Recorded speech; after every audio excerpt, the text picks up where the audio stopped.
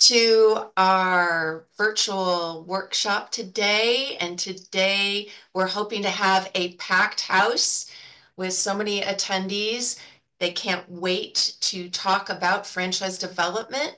And we have a star-studded facilitator um, on hand and hopefully a lot of very lively and informative conversation that will inspire you to bring back to your team and without further notice, as we keep packing them in, I'm going to hand over to Ryan Hicks. Awesome. Well, thank you, Sherry. And thank you, everybody, for being here. We're going to get straight into it. I've got some top of house announcements starting with if you if everyone on the call could go ahead and click the participants drop down, click edit there, and there's a little more button. Uh, find your name and change and add franchisor franchisee or supplier next to your name. That will help us be able to get everyone connected uh, for the breakout room. So click the participants drop down, uh, add franchisor, franchisee, uh, or supplier next to the name. We have a little bit of a price is right going on what our final attendee number is because we we did get a lot of registrants uh, for for this session. I think that our topics are prescient, uh, top of mind for a lot of people. And so looking forward to uh, some really robust conversation, um, maybe even a little bit of debate.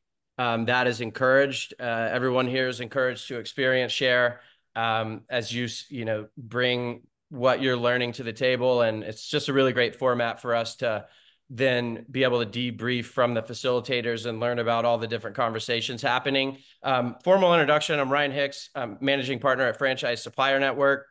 And uh, the way that the workshop will flow is we're going to have a, a, discussion around our first topic. Our first topic is going to be uh, digital transformation in franchise development. And what we'll do is have about a 20 minute discussion around that in your breakout rooms. You'll have a facilitator. Your facilitator will introduce themselves when you get in that breakout room. Then we're going to come back to the main session and do a little quick round robin and hear some of the top nuggets from each of the the the, the breakouts on that topic. Then the second topic is going to be franchisee support and training. Obviously, this is uh, marketing leaders on the call, also a number of CEOs. I see uh, a lot of friendly faces. Um, but uh, we'll have a conversation around franchisee support and training as well. And then we'll do the second round of feedback. And our goal is to have you out of here at the top of the hour. And um, I'll go ahead and just quickly introduce the uh, one one comment, and we would usually reserve it at the end, but I want to make it top of house. Emerging Franchise Conference is coming up uh, November 18th through 20th in Austin. I believe I have those dates right. We could drop uh, some of that information in the chat. Uh, Austin, Texas is a phenomenal place and uh, would like to invite everybody out to that event. Um, and so, having that said, uh, the first topic digital transformation and, and franchise development. Um, in the in the the session, we're we're in the facilitated conversation and the breakouts. We're we're going to explore how some of these kind of AI and automation tools are reshaping the way some brands are thinking about approaching development. Um, and how some of these digital tools are are helping brands be more effective, uh, more efficient, and you know impact our brands, impact performance in development. So do not hesitate, and and there's a lot of branches of where that could go, but do not hesitate to experience share. Um, you know what what you uh, what you've learned. And I'm very excited for the feedback after this first discussion because I think there's going to be a lot of really good nuggets. So have some notes, uh, notepad ready. Thank you so much for being here. And we're going to go ahead and get it out into the breakouts. All right. We will give it uh, 15 seconds here and let everyone else get back in to the room we made it first. I just want that to be noted, Ryan. We're good yeah. uh, soldiers. On time. Did you guys have good conversations? We did. 20 minutes is not very long. We got through one question. yeah. It's not, but by popular request, we uh running a tighter ship in an hour meeting rather than an hour and a half. So okay. Appreciate that. Well, hopefully we'll get some good nuggets that we can take away from some of the other groups as well. Yes. Yes, yes. Looks like they're uh, having some really good conversations. in a minute here. Welcome back, everybody. As you are joining, we're going to give it a little more time. It looks like we have everybody back. So, hope we had some really good conversations and eager to hear uh, some of the feedback from the groups. Um, let's go ahead and start. Angelique, do you want to kick us off and uh, share some of the top learnings from from from your breakout?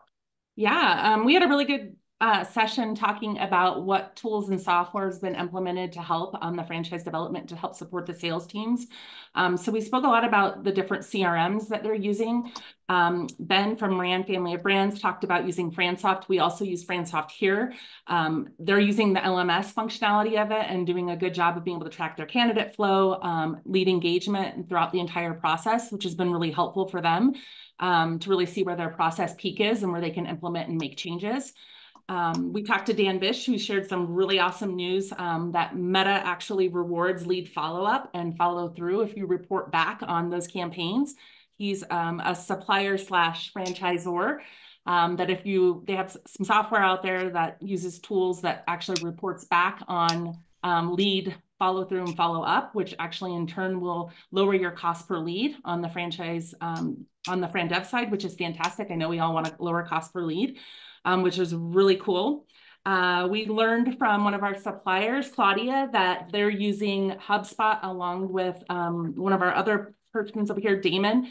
They're using so many different Zapier connections into HubSpot, including one called Postal, where they're able to send customized gifts um, on demand um, that really are heartfelt and thought out and use custom hand look like they're handwritten notes to their customers to really ensure that they're staying top of mind with their customers um, really helps them um, just keep track of where their where customers are at with their uh, buying cycle, as well as Chat GPT. Of course, I think all of us are using that to help ourselves become better writers, uh, to ensure that we're more effectively communicating with our um, candidates to ensure that we're hitting them and touching them with the right messaging at the right time. So those were some of the things that we talked about. Um, including a project management software called monday.com. So if you don't know about that one, look into it. It's got lots of cool features. Awesome. Thank you for the feedback. Robert Mitchell, uh, how did your uh, conversation go? Why, do you, why didn't you pick me first? Because I had to follow Angelique and all of her good note taking. That's that sucks. Okay. Anyway, um, we did great. We you should have been there. It was awesome.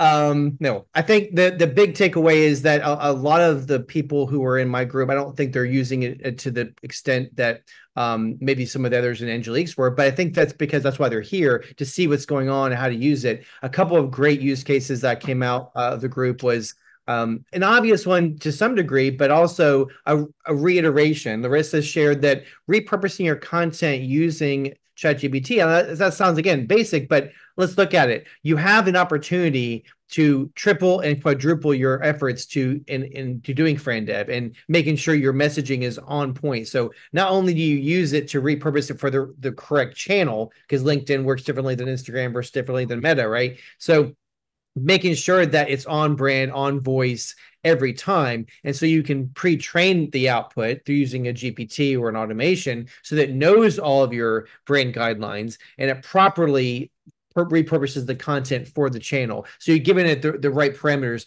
And of course, making sure the human stays in the loop so that you can edit it and, and reprompt it. And you keep on doing it until it really fits within the box for your brand in the right voice. So that was a big kind of a long use case, but it was very helpful. Um, it's it's in FranDev, but it's also in marketing in general for the brand.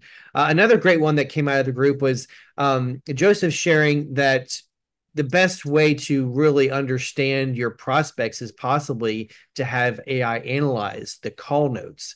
And so doing doing that either through call notes or like we've done for some of our clients through analyzing call transcripts. If you're so you, know, you have the, the beauty of that type of a, of a tool. Like if you use CallRail or you'd use Zoom for all your recordings, you can take all those transcripts, could be thousands of them, and either understand, okay, well, Bob, he's pretty far in the process. We should be, you know, touching him again, you know, or whatever. Um, or if you want to use the same tools to analyze your franchise sales team and say, are, I have a new person and they're not quite doing it. The here are the the SOPs they need to follow, and you can rate their calls and and help them in, as a coaching method. So those are some things that came out of our group.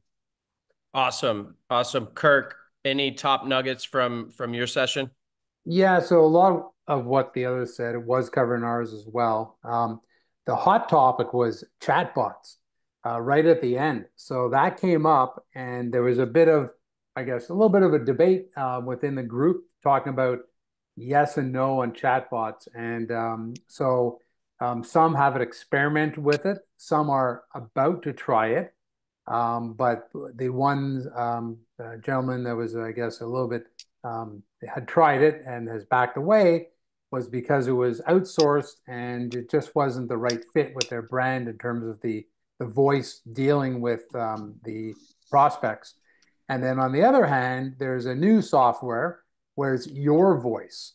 So the answers are your voice instead of a outsourced um, you know person overseas or something. So that was really really interesting. And the other piece, uh, Ryan, was most people tend to be using AI within the, the third party tools that they use, whether it's Salesforce or Lumen or franchisees so, or franchise lead.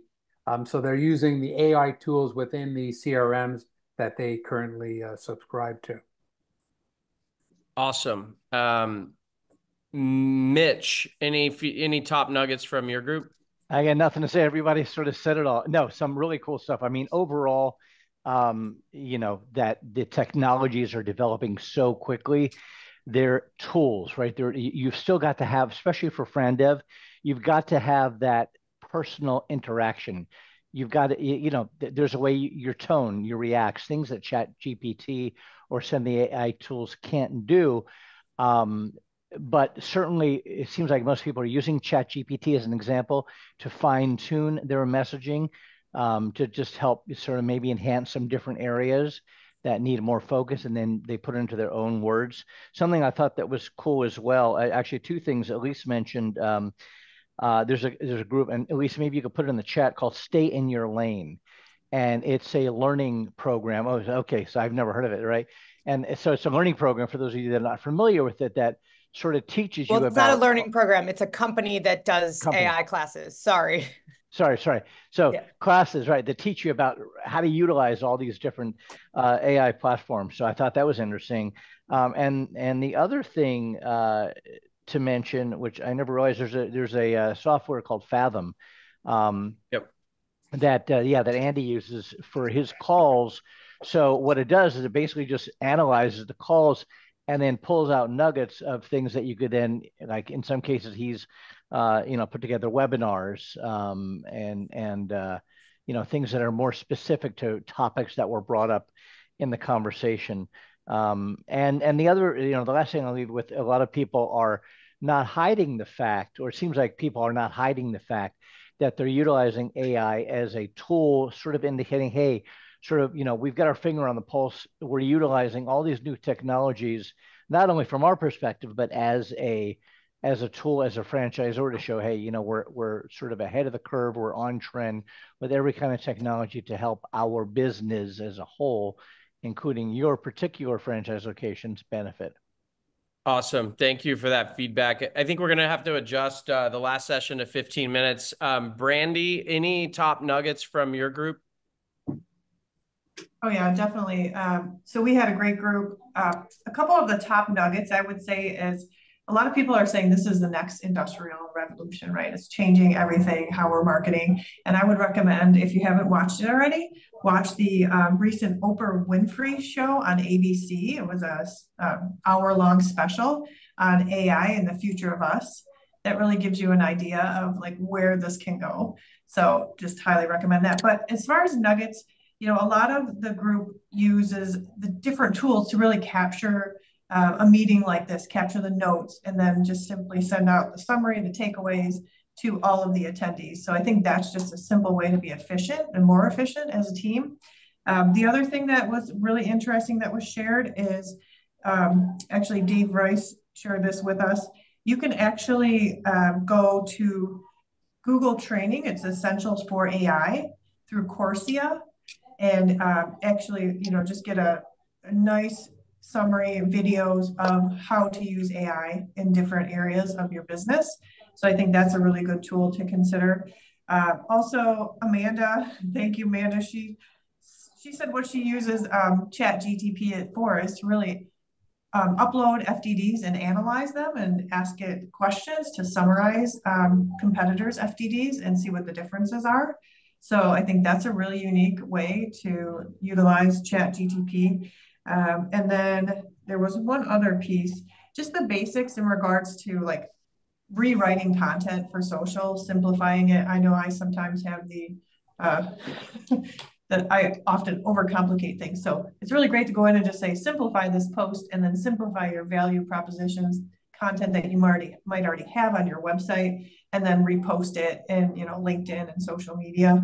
And then the last piece, which I think everyone should be using is Performance Max on Google. So if you have the right conversion points in place in your Google AdWord campaign, you can say, okay, these are the two actions I want customers to take and AI will then take it from there and put more money towards the keywords and the actions and the content networks that are providing conversions, phone calls, form submits. Some really good nuggets. Um, also a lot of notes in the chat. Uh, Marcy, any top nuggets from your group? Um, I don't want to repeat everything that's already been said. It's been fantastic. So I'll just share one. Um, Kimberly from National Property Inspectors just shared they do so many really fantastic things on the operations side. She shared a couple of apps that she can put in the chat if she wouldn't mind. But um, the, the key nugget there was in, for development, they just share that and they get a lot of referrals from what they're doing with AI on the operations side. So consider all the tools that you might not be specifically using in FranDev, that all the fantastic AI things that you're doing from the operations side will benefit you in FranDev that you can say how you're forward thinking um, with technology, and that will help you on the dev side. Perfect. Thank you all for sharing. We're going to go ahead and hustle back into the second breakout.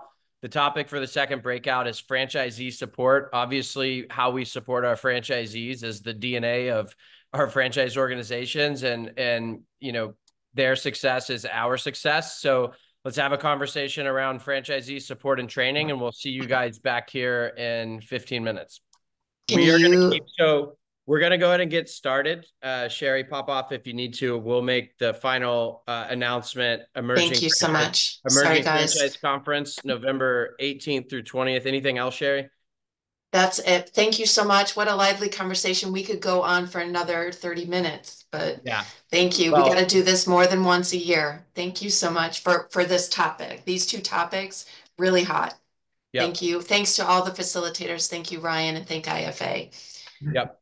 What I missed? We just got back from our breakout. Did I miss something? So um, we're going to go into a speed round so we can get everybody out of here. So for the facilitators, top nuggets from the group, we'll do inverse order. Marcy, I see you grinning. Let's have you go first. Top top nuggets from. Oh my god, you, you, you threw me off there, Ryan. Oh my god, our our group was amazing. Um, I'm gonna call out David Rice had three amazing nuggets. He does three great programs, but one that I loved. They have a next generation program, which is for managers and next level um, people on their team to train them up in the business. I just love that. Love that program. Amazing. Um, Brandy, what say you? This is really hard. We had great conversations. And actually, I wanted to pass things to Angela Cote. I don't know if that's breaking the rules. Go ahead. Um, yeah, uh, talk about sure. easy assist and some of your. No, that was mine. You can't steal it. Okay, Angela has other things. I mean, we got a ton of nuggets. As well. Go ahead, Angela. Well, okay. Apart, we'll let Robert talk about Easy Assist. Um, one of the things that we talked about was peer uh, performance groups and uh, the value of bringing franchisees together, um, learning from each other, but the importance of having a good facilitator so that they don't just go off track and spend a whole bunch of time venting about the franchisor, which is what would usually happen if you don't have a good facilitator. Um, and then the value of having um, some structure and curriculum in those groups, um, and that the uh, the groups really provide uh, accountability or uh, foster the accountability that franchisees need to take action. And then I guess one last thing is that the franchisees in a performance group need to be the franchisees that want to grow. Like don't try to put a franchisee in a performance group that doesn't really want to grow because they'll screw everything up and um, bring down the group. And high performing franchisees need to be in their own separate groups with uh, spe specific uh, curriculum based on what they need. That's Angela, drop in the, the the chat if you have any recommendations if people want to learn more about performance groups. Um, let's go to Mitch. What say you? Yeah, the biggest takeaway um, is uh, two takeaways really. One, you know, a, a, lot of people still use just the standard monthly regular webinars, communications. Um, uh, and and probably the biggest, you know, one of the biggest things is to not have it. And I know it's challenging because you could have some franchisees that it just turns into a bitch session, but that you know, whereas on a webinar you're just talking and talking and talking, as opposed to um, someone else brought up on the call in our room, more like coaching, like coaching them on what to do and and sharing the wins first with the group. Like, what have you done? What are they? What are the wins? And then you know, so that goes into okay, what are the challenges, sort of going forward. I'm a big fan of that of of sharing the wins. That's where franchisees learn from. Robert, what about you? Yeah, Easy Assist. I mean, we, me and Angela are big fans of this con of this company and what they do. They're great for ops. Basically, they have a tool that trains your um, it has it creates a model so that all of your ops has uh, every franchise owner can access the content from um, your company, all the operations manuals, training manuals, any uh, comms that are going back and forth, and even then, marketing assets as well. Yeah, marketing, everything by text too. The yeah. franchisee just simply texts and wherever the information is, it goes and gets it and brings it to right. the franchise. So you don't need to clean the data. It can be wherever your organization houses it. Yeah. But I'll push back on Angela. It isn't just text. So well, if you if you work in Slack with your uh, your franchise owners, and that's where it lives. If you work in uh, emails or however you're con- currently communicating with franchise owners, it will live in that platform. And then the best part is the back end. It has a back end system that allows for ticketing. So if the question is not getting answered, then Bob can jump in and answer the question, and it learns on the answer Bob gave. So it's really a great system, and it really makes it more efficient for your ops team. So take the takeaway here is your operations team, instead of answering all those repetitive questions they're constantly asking, that if they just read the operations manual, they'd have the answer. Now that 50% of their time is now gone. And then they, they can go to working with the franchise owners on P&Ls or something more impactful. Yeah, pretty incredible uh, use case. Um, Kirk, what say you? Two quick ones. Uh, Heidi from uh, Gym Guys, gamification for training. Make sure you make it gamified to get engagement. Number two, uh, Mark and one of their core principles is shine the spotlight. And they do it in multiple, multiple ways, shine the spotlight on really good uh, things that franchisees have done, uh, whether that's turning around a business or getting wider adoption for a new program. But uh, shine the spotlight is a big core principle. Amazing feedback from all the facilitators. The last one, Angelique. Gosh, you guys had all of ours on there too. So we talked about um, having regional support managers um, to work with people that are in different regions to ensure that your marketing messages are communicated effectively to the correct region. And then um, also we looked at making sure that your company is tracking the same five KPIs um, so that you're leveraging benchmarks and everybody knows kind of where they stand um, and that they're all looking at the same KPIs in, in terms of early education and expectations. So those were a few things that we talked about along with all the great things that everybody else shared. Awesome. Well, thank you guys for the speed round. That was a lot of great top nuggets, and we appreciate everyone being here. Um, we'll send out communication for the next workshop. And until then, we'll see you soon. Be sure to check out Emerging Franchise Conference in November. Cheers, everybody.